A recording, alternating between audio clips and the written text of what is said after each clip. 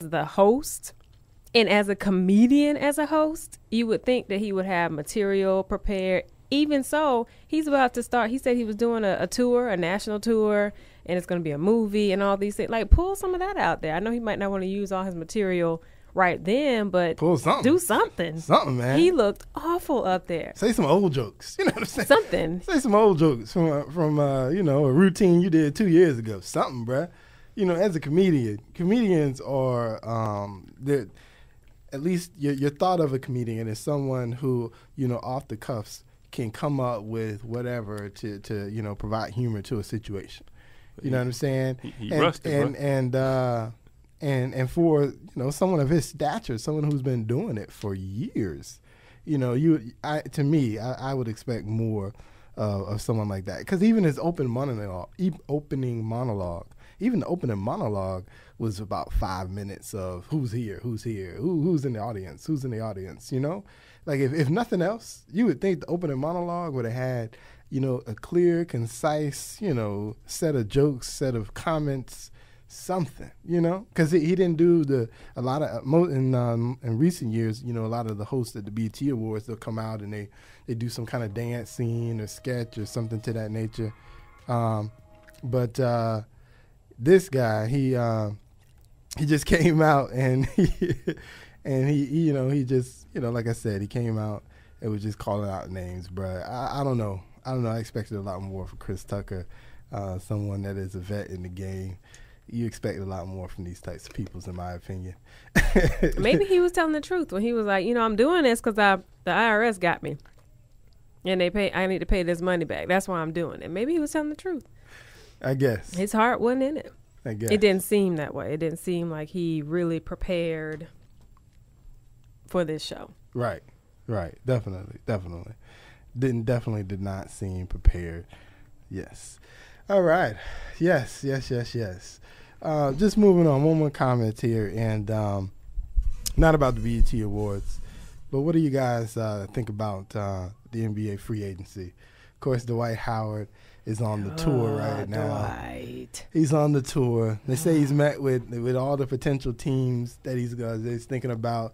He's met with Dallas. He's met with Houston. He's met with uh, the Golden State Warriors. Uh, he's met with Atlanta, and he's already met with the Lakers. They say he's met with the Lakers twice now. What do you think? Where, where, where should he be? Should he be? Should he be going to the to the Houston, or should he go back to the Lakers? What are you thinking?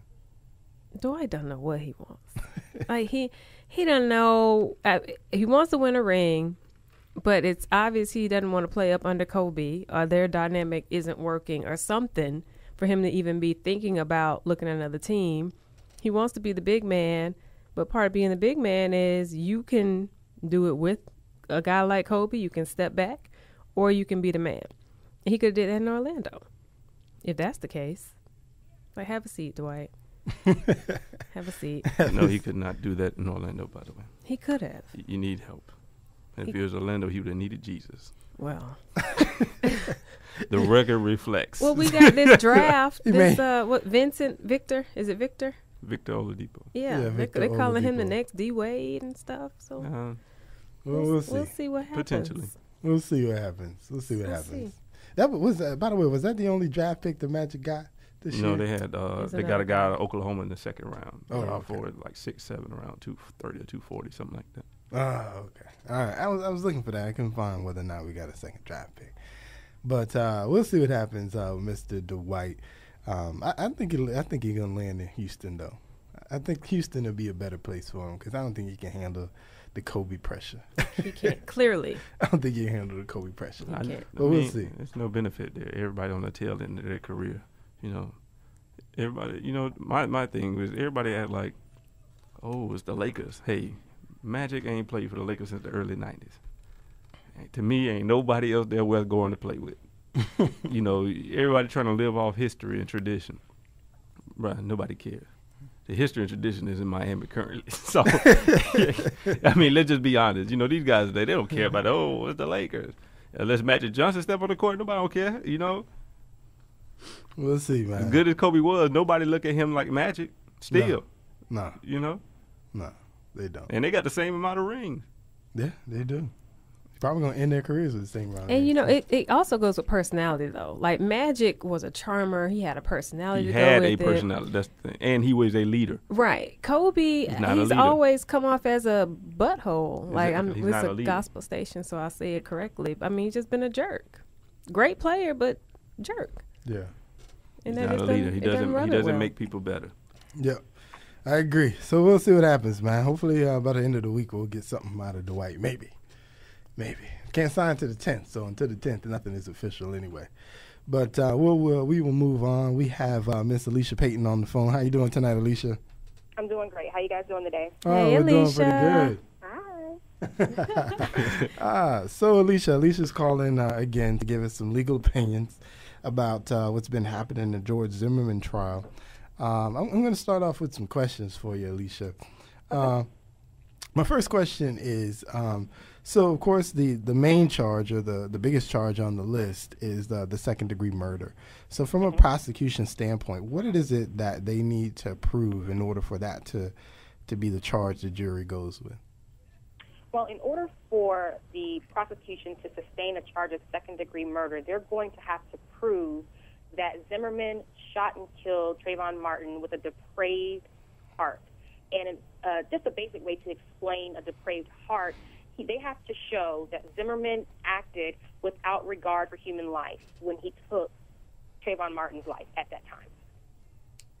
Okay. All right. So so they have to prove that he could care less about Trayvon per se, um, and he sort of you know he was the target of the moment, but there would have been a target regardless. Almost is that kind of am I Well, not paraphrasing? necessarily Trayvon, but just life in general. Right. At that time, that he just had no regard for life, so he did what he needed to do based on that. Okay. All right. All right. So so It so. sounds very matter of fact, but that's really just what it is. That they just have to prove that it was a matter of fact process in his mind. And, and in general, just not not necessarily on this case, is that is that typically something that's you know usually hard to uh, pin down for for the prosecution? Well, I can't quantify it by calling it hard or not so hard. I can say that it's it is um, very fact intensive. Um, oftentimes in the law, we we have to decide whether or not what we're going to argue is going to be fact specific, or are we going to be arguing the law. We oftentimes hear that attorneys argue one word. We can stand in court and talk about one word in the statute all day long and what the meaning of that word is when we're talking about depraved mind, we're not talking about the words depraved mind. We're taking the facts and we're going to apply them to the definition of depraved mind and see if the facts fit. So whether or not it's hard or easy really depends on the facts at hand. Gotcha. Okay. All right. All right. Sounds good. Sounds good. Well, now next question is the uh, the kind of the obvious one. What do- what do you think about what's been happening so far in the trial? Um, is it uh, swaying any particular way? Do you think? Well, since the last time we talked, we've seen a number of witnesses take the stand. I mean, from the residents of the townhouse complex all the way to Rachel Jeantel. We've seen the medical examiner. We've seen a number of people take the stand and give their account of what's happening. And it's, we need to remember that we're still talking about the state's case in chief. I think that right now, um, I think the defense is doing a great job of poking holes in the state's case using their own witnesses. So they're getting out a lot of testimony about how Zimmerman may have felt without actually having to put Zimmerman on the stand yet. And that's important to remember. So, from a defense standpoint, I think they're doing a good job of holding their own. I think the state, however, um, is starting to prove in the last, you know, couple of days here that they haven't, they're not out of this fight yet. They've put a lot of research into um, Zimmerman's past interview, into what he's done maybe in his educational life, and also the common sense of what Zimmerman is trying to say happened. And they're using people with great credentials to try to disprove and dissuade the jury so that they can pull toward the state's direction. For instance, with um, the medical examiner talking about how the bruises and the injuries sustained by Zimmerman could have been taken care of with a band aid. As opposed to sutures, which further helps the state's claim that you weren't in threat of your life being ended by whatever was going on in the scuffle. That's important because if he wasn't in fear that his life was going to end, then he can't substantiate why he used a firearm to defend himself. But but just uh, I mean, I, I know you're a defense attorney, so just thinking Yes, from this I from a, a defense perspective, I mean, in the heart of the moment, one is not uh, obviously not judging, you know, the extent to my in- injuries. I'm just thinking, man, my um, my head is hitting this ground, and my nose is bleeding. So I mean, even with the medical examiner saying that, I mean, isn't doesn't that not really speak to the to the heart of the matter? That's just you know sort of an opinion outside after the fact that in theory one is not thinking of uh, in the heat of the moment. Um, yes and no. Uh, yes, in that we don't know exactly how Zimmerman was feeling. Sure enough, if my head is being bashed on the ground, I, I see that there's blood coming out of my nose. I'm not wondering, well, are these really life threatening? Let me think about that before I decide to use my firearm. True, but what the jury is going to have to do is to take the feelings that the defense is going to say Zimmerman felt and determine whether or not those feelings are reasonable to Zimmerman in the situation. Does that make sense? Yes.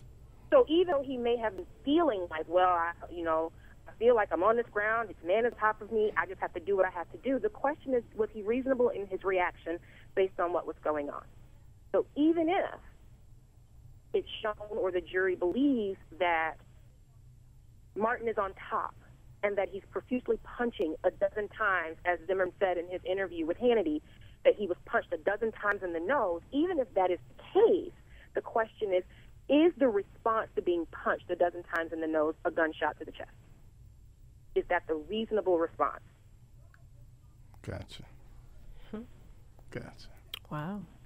You got any questions, Mr. Gray? No, I'm I'm just watching. I have so many comments to say about this trial, but it's so much more that can be told or that's going to be told. So I'll just just watch. now, one of the things I found interesting uh, too, Alicia, is listening to the um, to the lead detective. Um, I can't think of uh, what is it, Sperano? I think it is. Yes, Valerie Rao. Um, and so, uh, you know, one of the, th- the comments that uh, I think Mark O'Mara got him to admit, which I found very interesting, and I wonder how this plays into everything, is how in his initial invest- investigation he, he suggested that he felt satisfied where the, where the case was, um, but then he was, you know, he felt the pressure to press further, um, and and trying to determine, I guess, something else, if you will. Um, I mean, how, how does that play into, you know, the mindset of the jurors, the in the case? I mean, the idea that there might have been some outside pressure that was sort of forcing this lead detective to to look further into something that he had pretty much already determined he knew what the situation was. Okay, let me let me backtrack for a minute. I, I misspoke. I said Valerie Rao, and the lead detective is actually Serino. Serino, Um, let me apologize for that. But your question, I don't I don't quite understand. Well, I, I remember the on Friday there was a lot of the um, a lot of questioning of the lead detective, and, and I remember I don't remember the exact question, uh, but but there was some questions that Mark O'Mara asked where he where he was inquiring whether or not the lead detective felt some outside pressure in into looking. I, I don't know the way he described it as looking further, so that he, the guy he, he did his initial investigation, and he determined one thing, and then due to outside pressure, you know, he went back to the investigation, and then he was seeking to, you know, maybe pull out something that he missed the first time, or find something that he didn't find previously. You know, how does that play into the mindset of, the of the jury potentially? I mean, that the idea that you know outside pressure is basically pushing this forward to do something that perhaps shouldn't have been needed or done. Well, I, I don't really think that the idea that this detective decided to take a second look after whatever pressure may have been placed upon him is going to have a negative impact on the state. I think that Mr. O'Mara brought that question out to try to point to the fact that this detective went back a second time to look for something that he clearly never saw the first time. and that he wanted to get a result that would be pleasing to the media and to society as opposed to getting a result that was fair and accurate. However, the, the reality of the matter is, is that based on his second look, more information comes out that's not just information that he finds, but that's corroborated by other witnesses that the state has put on the stand. So I think at this point, it doesn't create the negative blow that uh, O'Mara and his team are expecting. So I think that the jury is going to take that um, more closely with a grain of salt, as opposed to having um, a greater impact than than anything else would. All right. One more question about his testimony. Uh, another thing Mark O'Mara got him to admit um, was the idea that, for all intents and purposes, he, he felt like George Zimmerman was credible um, in his story. How does that play? Now, I know I heard, uh, I was listening today, I heard in, in one of their um, motions, apparently the judge asked for that to be stricken from the record. Mm-hmm. But but it was said so, and the jury heard it. So so, so what, what you know the idea that you know, he basically finds incredible in his story. How, how, how do you think that one plays? I, I, I have to believe that what the judge says to strike it from the record that it is stricken, but I'm also human. So once something is said, you can't take it out of your brain once you've heard it. You can't unhear something that's there. I think that um, if the jury does their job, they will disregard that information because the judge did make the correct ruling in taking that out. But I think from a de- from a defense perspective, it speaks volumes about how the cop perceived um, Mr. Zimmerman's statement. However, the question very carefully was just that did you find him to be credible only because his story never changed? Not necessarily that he was telling the truth which is why I believe the judge found that that information should have been inadmissible and needed to be stricken from the record. But if, if we listen very closely to how the testimony is, is laid out, they're not saying that he's actually not lying about the series of events, but I believe that what the officer was trying to say that based on the fact that I met with him initially on the night of the offense, and then I met with him three days later and his story did not change, I have no choice but to find him credible at this point. Gotcha. Okay. All right. Yeah. That sounds uh, that sounds good. I, I appreciate it. So uh, we'll see how this thing goes then. Um, but uh, I don't know. So far, just just from my outside opinion looking in, um, it, it, at least seems like uh, one. I find it very interesting that a lot of the prosecution witnesses are kind of turning out to be great defense witnesses. it, it, it, that's what it sounds like. And just listening to some of the testimony is the message that I would think the prosecution wants to get out isn't necessarily being displayed by the witnesses. I find that to be interesting. Um, I, I, um, think I, I tend to agree that they are turning a lot of the state witnesses into some pretty good defense witnesses, but I don't think it's over yet. I, I think that at this point both sides are required to deal with the witnesses as they come, good or bad, intelligent or not, um, societal backgrounds. That's what they have to work with. I, I think that it's very easy for us to think that the defense is, is kind of winning for all intents and purposes at this point because we hear them last.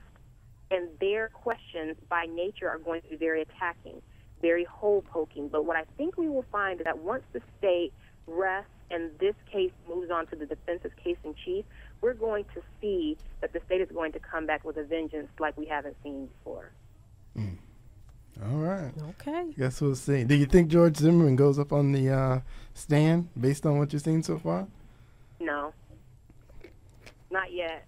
I mean, I think that the fact that they were able to play the the recording sets up enough for self defense, in my opinion. I don't see why the defense would subject him to uh, what could seemingly be a very crucial cross examination by the state. I don't know why they would set him up for that. If everyone thought the Jeantel cross examination was bad, I'd hate to see how Zimmerman gets cross examined if he takes that stand. Gotcha. All right, man. Oh well, we appreciate you, uh, Alicia, for giving us those comments. You're most welcome. All right, thank you, and thank we'll you. we'll uh, we look forward to hearing from you next week and seeing uh, where we are next week I'll with this. Here. All right, now you have a good evening now. You too. Bye bye. Bye bye. All right, so that was Miss Alicia Payton offering some Hey, I- legal opinions on uh, the George Zimmerman trial. Question. Uh, when she she put it out there, she's like, when she said, the, um, "Do you think getting punched in the face, punched in the nose repeatedly with somebody on top of you, do you think a, shooting that person is a reasonable response?" I would just like your opinion. What do, what do you guys think? Is that a reasonable response? Yeah, if you're lying, on, if if I mean, if you're on the ground, somebody's on top of you, and they're repeatedly punching you in the nose, and you have a gun on you, do you believe shooting them is a reasonable response? Uh, I, I, honestly, I think it just it, it all depends on your state of mind as that person's punching you on the top of your face. Okay, I'll take yes. I, uh, Ms. McCray, yes. What would you? I mean, I think if you have it, I think you know if you have the gun on you, I think it does. You know, at least present possibly. I'm gonna try to fight back, and if my fighting back doesn't help, then you know I'm gonna have to use I, my I just, I just wanted to know because, I mean, like I said, if that indeed is the or was the case, I ain't say I would have did it, but I understand. you know, uh, like I said, I, I think um, there, there's there's a logical representation of this case, and then there's the emotional, right. and exactly. um, and and the emotions are running high, um, especially when it comes to people's opinions. But um, but I, I think logically, you know, logically the I, I don't know, just listening to what the witnesses are saying and the cross examination coming back. I I don't know. I, I'd, I'd at least say there's, you know, the question here is not whether or not he's guilty or innocent. The question is, is there reasonable doubt? And Correct. and and that question I think has been clearly answered, um, and we're only a week and a half in. But like she said, it's not over. It is not over. It's not over. But but again, the question is reasonable doubt, and uh, I think that question has been answered. But we'll see. over. We'll see what happens, man. We'll see what happens. I, I've been even listening to some other uh, legal opinions, and um, and and I've seen a lot of them at least agree with the fact that they don't think second degree murder was the right charge here, and second degree murder has already been kind of killed. Um, and, and this is, goes from you know people who are defense attorneys, people who are former prosecutors. All of them is, at least agree with that, um, and at best think um, some kind of manslaughter charge would be the best thing that they might be able to get out of this deal. Uh, but we'll see. We'll see what happens, man. We'll see what happens. Emotions are running high. Emotions are running high. yes, they are. but we'll move on. Uh, we have uh, our next guest is in the building to um, and joining us, and so we're going to talk with her. Miss Jasmine Bernie's in the house. How you doing, Jasmine? I'm well. How are you all doing? Oh, we're doing good. We're doing good. This is our moment with Jas. where's my Where's my work it out? music? Oh, there it is. Love it. wait, wait, you gotta get your voice. You gotta do it. You gotta do it. A moment with Jas. Yes. Snaps. There Love it is. it. Thank you. There it is. We got her music together now. Go ahead, Miss Jasmine. What you got for us You tonight? all offer such a warm welcome. I greatly appreciate it. Thank you so much. this week, I am talking to you about the Supreme Court decisions that have been made in the past week. Um, it has been extremely intense around here, and um, there have been a lot of decisions that some people would say set this, this, this the, the country forward 100 years, and then some say that we have been set back another 100 because of those decisions, and that we're dealing with a bipolar Supreme Court justice, justices of the United States. So, I want to go ahead and go into some of the most major cases that were decided on last week. And the first one is the support the Supreme Court affirmative action case. Have you all heard about this one? This is where the young lady, um, her name is Abigail Fisher, a white woman who went to UT Austin, um, brought a case forward saying that she was unconstitutionally discriminated against her after she was discriminated against from the university after the state's flagship university rejected her application in 2008 under its race conscious admissions program. UT Austin now has to, or last week had to prove to the Supreme Court that um, it was unconstitutional under the standard of the Supreme Court. And um, what initially, it, she was just admitted to the school. The school has a strict affirmative action policy. They look at every single student that comes into the institution, and she was one of those students who felt like she was discriminated against. And it's rare that we hear about students who are discriminated against who are Caucasian, not African American, or of another um, racial background. So it's rare to hear that this young lady brought up this particular case, but it was one that was valid and felt that she was not allowed into the institution because she was a Caucasian female. And in some institutions have quotas to meet under the affirmative action laws and this so happened to be one of those situations where she unfortunately just was not accepted into the institution and so what actually happened this is an interesting one so the supreme court stated pretty much that the local level courts didn't take a look at this case seriously enough and just kicked it up to the Supreme Court.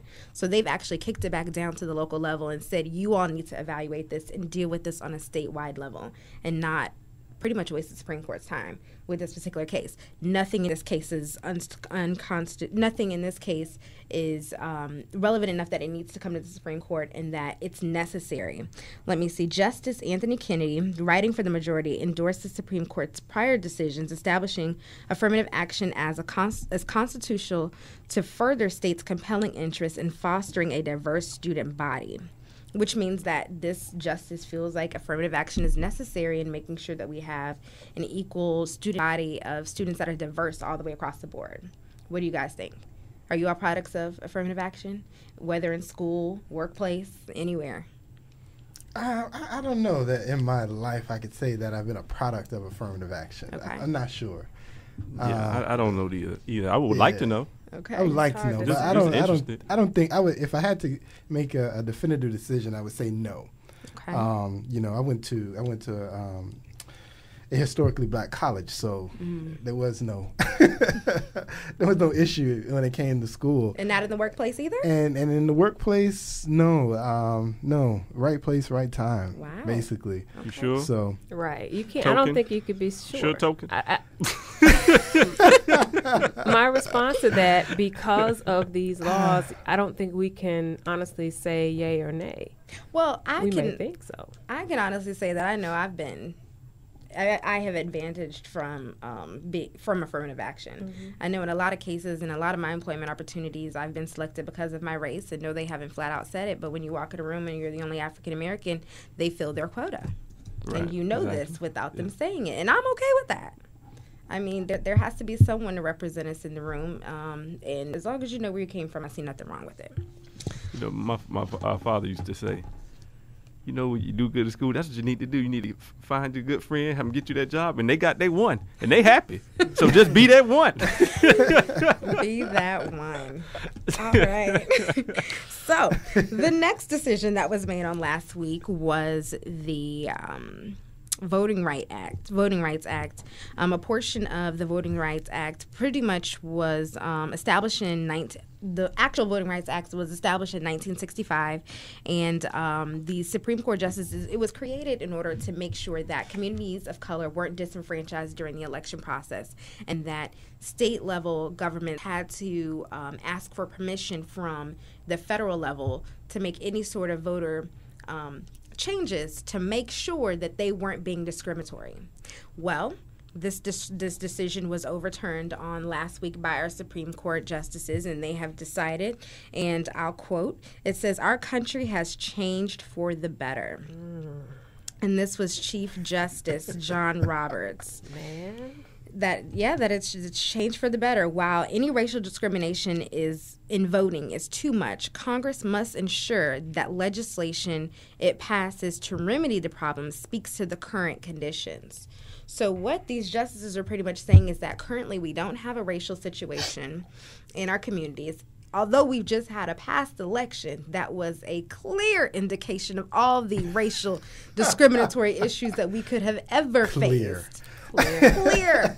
clear He is making he is making a statement that there are no, absolutely no problems. States are perfectly fine. When the state of Florida had its own case that was sent up to the Supreme Court justices about three counties in our state who were affected by this particular portion of the Voting Rights Act that does not allow the state to make any decisions um, as it relates to communities of color, or if it affects communities of color, um, they have to go to the Supreme Court before making any decision on how those people vote in those communities. What do you guys think? Uh, well, go ahead. I think this was the most important ruling that they did. It, it awful, Mm-hmm. awful because the next day Texas, then Texas, and I believe um, I can't think of the other state immediately put into the laws that they were Mm-hmm. trying to do before the election that pretty much would have knocked out most minorities. That's black and brown people Correct. who don't have IDs. Whoa, whoa, whoa. Hold- look, look it Hold- up. Hold on. Get off that Fox bandwagon, J. Real. I'm telling you. And these justices said it clearly that they're not. This isn't about you know we don't have racial issues. This is what these justices said, so they know the issue is race. Let, Yes. us be honest. And and uh, if you want to comment on any of this, 407 894 1680 is the number. 407 894 1680 is the number. Now, now I read this.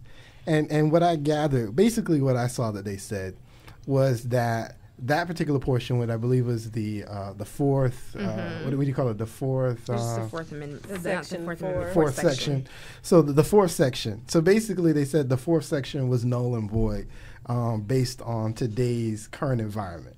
But because you know there's a but in there. But they did say that if Congress wants to go back and basically renew it and come up with mm, you know new stats and information uh, based on different discrim- discrimination that may be occurring, and then create a new a new map, right? Because the map that was being used for the last you know 30 something 40 something years was based on a map of 1972 and and I think we can all agree that where we were in 72 is not quite where we are in 2013 that I think we can agree on. That we can so agree on. so what they basically said is Congress needs to come up with a new map based on where we are today. Now I, I know what you're going to say. Congress can't do anything. Congress can't even decide on a budget, let alone decide on a map. Well, Uh, you know where we are today. Yeah. But but I don't I don't think the Supreme Supreme Court is wrong in their decision because all they're saying is let's not look back where we were 40 years ago. Let's look at where we are today, and then let's create some some laws and some you know things that need to be in place if they need to be in place based on where we are today. That's what they said. So, just a few months ago, where were we as it relates to voting? And I was just here talking about You were here. discriminatory practices And- and we disagreed then. among communities of color. We disagreed then But that, that all go- of these laws were being created specifically to, to knock out black and brown folks. We you know. I, we disagreed then. You know, now I'd agree. These some of these laws are created to discourage um, or disenfranchise maybe the the uneducated voter that just votes. You know, without actually, you know, doesn't read anything. You know, they just showed up because people told them it was time to vote. Mm-hmm. You know, now yes, those people I think are going to could be hurt by by certain voter laws because they're not even going to educate themselves enough to know that the law changed and maybe they need to do an extra step in order to be able to go vote. Mm-hmm. But but ordinary citizens, ordinary citizens that are on top of their game and are paying attention to what's happening in the government and what's happening in their state, whether they're black, brown, or whatever, if you're on top of this stuff, the law isn't going to hurt you because you're going to be aware of it and then you're going to prepare yourself in order to do and go vote. But no, it's The going to only person hurt is the person that ain't following the rules. Or their grandmother who who doesn't have the birth certificate from 1913 to go in and get her voter her voter ID in order for her to go in and actually vote. That's who it's going to hurt. So it's going to hurt those educated people, their extended families, their the people who are direct contact with them on a daily basis. But let me talk about the map situation though. So we went through this great period of the census and we have created all these redistricting lines here in the state of Florida and everywhere else that has gone through redistricting. The mapping is already done. Congress can look at the numbers to see how these maps were created. And by the way, there are lawsuits pending on those maps right now because of their discriminatory practices. But they can look at that to see how much the population has changed. Just here in Central Florida alone, our Hispanic population has tripled in comparison to the past 10 years. Clear indicators that times are changing, but our laws are not. So you want to keep laws, you want to look at where we are now, but not acknowledge the fact that where we are now is an indicator of where we were back then and that we're still talking about the same thing. If we weren't talking about the same thing, that means that something had to have changed. Nothing has changed. This law may need to be represented in a different way, but it's still the same thing. Everybody is being discriminated against in some form or fashion and making it difficult for people to vote. Why do you want people to make it hard to elect you or reelect you? Well, I- Thank you. I, that's one of the best quotes I did here on the radio. Like they are making it harder for you to vote instead of to make it easier for you to vote Mm-hmm. For This is- it- everybody. yeah, it's a right. It's not like a privilege. Mm-hmm. Correct. for everybody to be able to vote without issue, without obstacles. And then just to, as we like to do this conspiracy theory on this show, it's another way that the Republicans, your people, are trying to make sure that somehow they start winning these elections all over again. If they can get these people, these black and brown people who are, especially the brown people who are about to outnumber the majority of the Republican base, they're, it's, it's scared. They're scared. They're scared. They see what is the future, what is possible. But that's uh, that's a, that's assuming that all of these black and brown people are going to um, vote Democrat. You know, I mean, look at what has happened so far. And enough of them have made enough noise to scare some individuals into making these sorts of decisions. But let's move on. We have um, two more. Supreme Court decision um, made a decision on the DOMA Act, and that's the Defense Against Marriage Act. This act essentially allows for same-sex couples to be acknowledged on a on a federal level. So if you have a significant other um, that you have um, been in a relationship with, although you all can have a civil union, you can be married um, in whatever form that you would consider being married um, in a same sex relationship, the federal government has to acknowledge you as a couple. They have to provide you with benefits. They have to give you access to health care. They have to um, allow you to make those last uh, decisions for your significant other. And we, as members of society, have to acknowledge them as well. Now, how you do that is your decision but we do have to acknowledge that these individuals are a part of society and that there is about to be a very large growing number of them, particularly in California, where Proposition 8 is another case that um, was struck down. And this actually legalizes marriage in the state of California. What I mean by struck down is this would the initial proposition 8 was they wanted it to only acknowledge marriage between a man and a woman and this says no that that is not constitutional marriage is between whoever you feel you love and care about and want to be with whether that's same sex or um, not so touchy subject and situation Y'all know where I stand on this. I'm I'm for it. It's not gonna hurt me in my daily life. Um, for those members that I know of my family and friends who are of the same sex couple, this is what they need. When you think about your partner being in the ER and you can't go back because you're his girl or boyfriend or girlfriend or husband, wife, whatever the case may be, that I want my loved one to be able to ha- be with somebody if they're dying. If he happens to have a, a husband, so be it. As opposed to him dying by himself. And then, I mean, we could talk about this all day, but I, I'm okay with it I'm, in, I'm in agreement as well as far as a federal laws. and concerned. federally acknowledging that these individuals have the right to be acknowledged the same way that uh, heterosexual couples do. And um, there is now going to be a, an influx of bills that are going to be proposed across the nation to acknowledge marriage between two men, two women, a man and a woman, however they want to define their union. What do you think, sir? Well, yeah, I think you're you're right. Based on that decision, I think uh, a lot of states that don't have some kind of marriage, uh, that that currently don't allow marriage between uh, men and marriage between two women, um, you're going to see bills be floated uh, to get that to get that done uh, based on that ruling from the Supreme Court. And um, you know, I've said before, you know, hey, if they want to get married, let them do what they do. You know, um, it it doesn't. Um, you know, I think a lot of you have to remember that a lot of the the pushback goes back to you know the, the Christian perspective and everything, and you know I hold my Christian principles. I still say that it's a sin, you know, but uh, but you know we don't regulate sin from a governmental perspective for the most Right. part. So uh, you know I, I wouldn't necessarily say that we need to regulate this sin um, as well, but. Uh, but yeah, you know they do what they do and, and kind of get ready because you know that that was the landmark case to, to pretty much free up uh, same-sex marriages to just you know boom Yeah. across you know statewide. You But know. don't worry, Florida. We don't have to worry about seeing that anytime soon. we, we have plenty of time, and we won't see a bill like. Well, we, we may see a bill, but it won't happen here in the state of Florida anytime soon. Nah, We can barely get health care together here. no, Right. n- not No. not with our uh, Republican-dominated Congress. I doubt I doubt Yeah. that uh, will happen in the state of Florida. But you know, Democrat too may bring it to the case, bring it to the They'll, floor. they'll try, They'll, but they'll um, probably try. uh, like you said, I doubt it'll be a minute before something like that happens here in Florida. We'll see. We'll see. They, they do surprise you every now and then. They do surprise you every now and We'll then. see. We'll see. 407 894 1680 is the number. 407 894 1680 is the number. What do you say, Mr. Uh, Jeremy? What the, oh, about to say. Oh, me personally, I, I don't mind. You know, from a civil standpoint, I'm in agreement. You know, from a, a religious standpoint, how I mean, I, I guess I understand why they don't want it because a lot of them feel it's just a another step um, towards a direction that they're not comfortable with.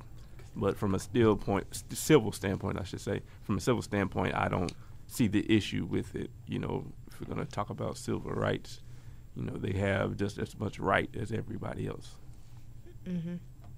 Yeah, uh, and, and that's and that's the thing. They have as much rights as everybody else to sort of be free, like everyone else, right? That's Be true. free. Everybody wants to be free. Be free or miserable. Or miserable. Or miserable. much as Hey. or miserable. One of the two. One of the two. That's that's typically what you get. You got to get a very happy moment in time, or you get some miserable moments in time. I remember so, some people say, "Be careful what you wish for." That is so funny. that is so funny. Can you imagine? I fought all this time to get married. Now I can't stand you. nah, I want to see the first one on divorce court. Right, right. Now that is going to That be will be yeah. But hey, they just like And you, and you know else. somebody's gonna bring it up.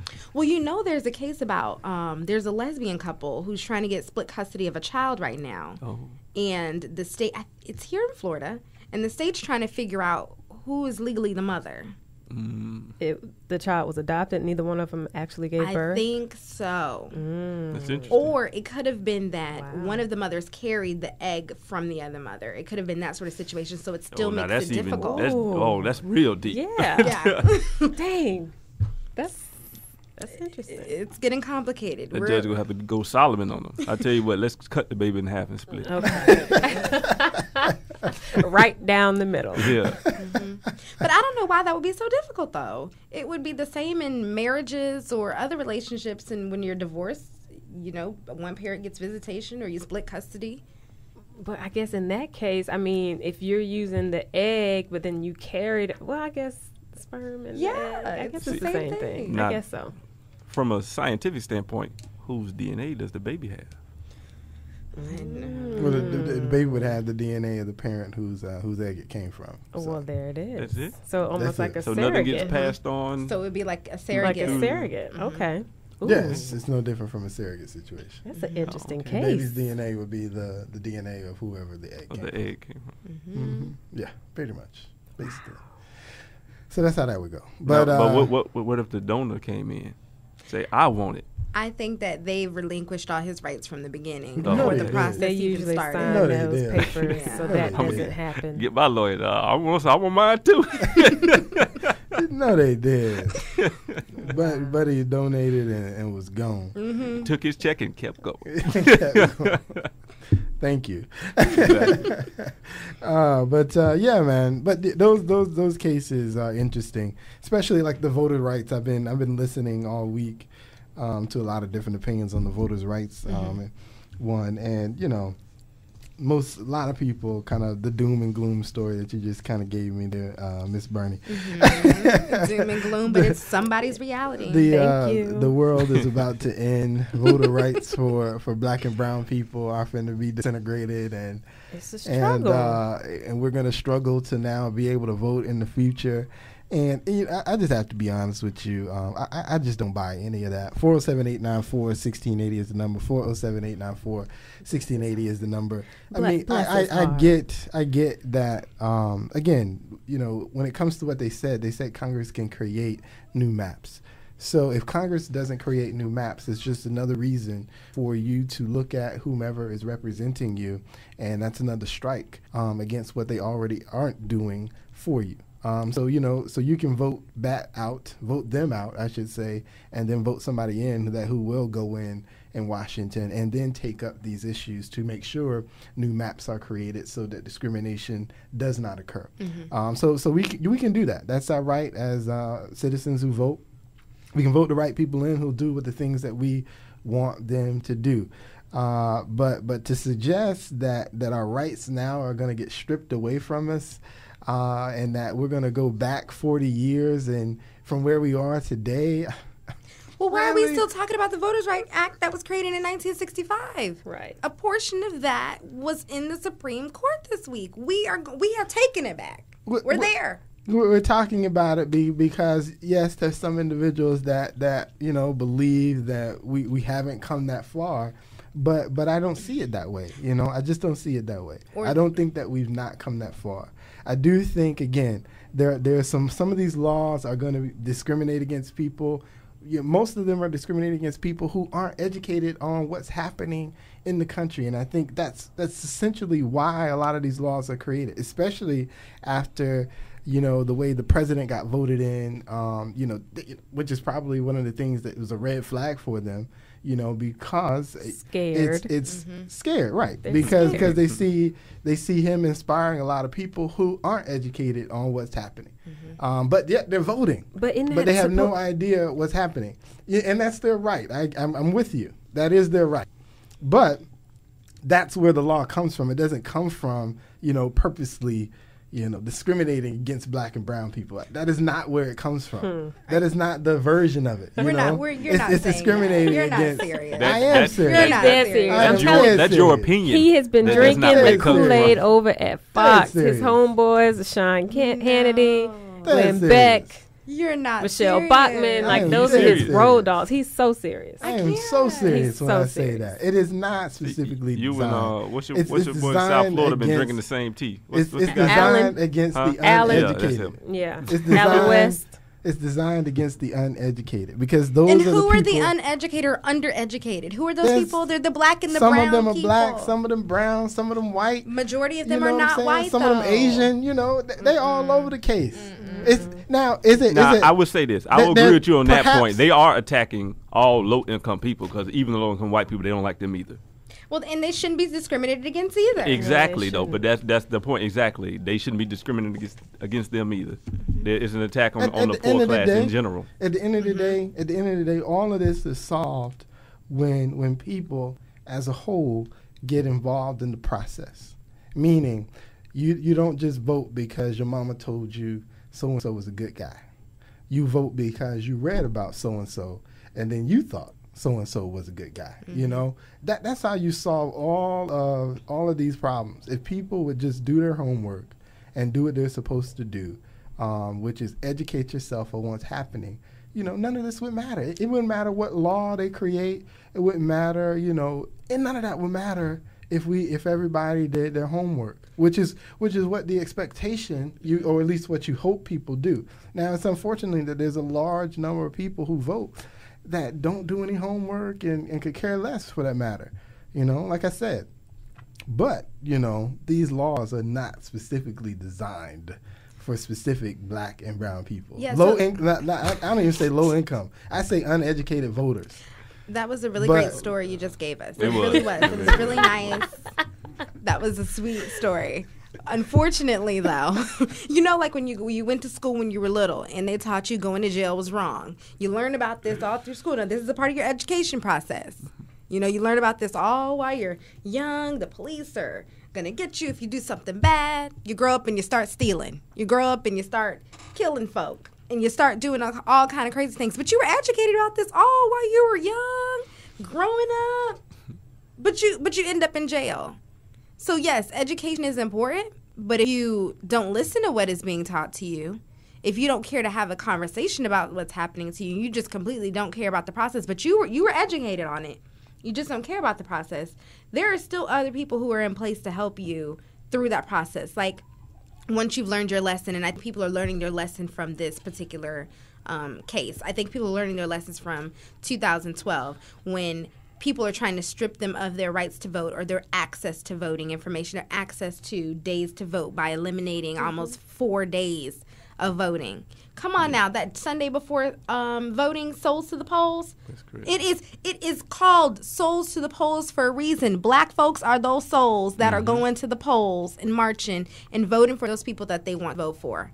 Clear discrimination. Clear. But whoever was representing this particular case in the Supreme Court didn't do a good enough job. No. And, and like I said, the next day in Texas, one particular uh, county for black people, they were they're trying to shut it down to four precincts for entire um, community of people, and I the county itself is escaping me right now. Whereas on the white side, and it is predominantly a white, more Republican based county, And she knows this because she educated herself on I it. educated myself. 20 precincts. 25. Where the majority on that side, where the, the Republicans are, the population doesn't even require that many precincts. Whereas the population in this African American brown community needs that pre- those precincts. They cut it down to five. wow. That was the next day once this was delivered. Well, yeah, I remember that the uh, based on this decision, they also shot down the Texas um, the Texas voter law that had got shot down by the Supreme Court. Actually, was now allowed Yeah, the next day. um, to proceed. Now that you know after this particular At verdict. midnight, matter of fact. I know, think the, the they, they know y'all ain't gonna wait in line. That's why they get y'all down the photo. Like, man, I'm going home. It ain't that serious. At least crazy. that's what they're hoping. That's Yeah, what they're that's what they're hoping. That's Yeah. exactly what they hoping So for. four precincts, long lines. They're like, nah, I ain't gonna go. Exactly, directed right at us. Yeah. Thank Now you. you disagree with that one? I- I- That- that- here's yeah. what I would say to that. Here's what I would say to that. There, there are. Um, again, we know that this is 2013 and there's some discrimination out there. Um, and, and I'll be the first to tell you that's the truth. But uh, no, I do not think the the entire country, every single state that has a voter ID law, every intention of the first person who thought to create one was how can we discriminate against black and brown people. Look at the party who put those laws in order. That's all I'm saying. That's all I'm saying. Uh, this is ends another week of Real Family Talk. Uh, we thank y'all for listening. We thank Miss Bernie for stopping by. Uh, this is your host, Jay Real. This is 1680 WOKB. You can follow us on Facebook, Real Family Talk. You can follow us on Twitter, Real Family Talk. The website, realfamilytalk.weebly.com. WOKB, Winter Garden, Orlando.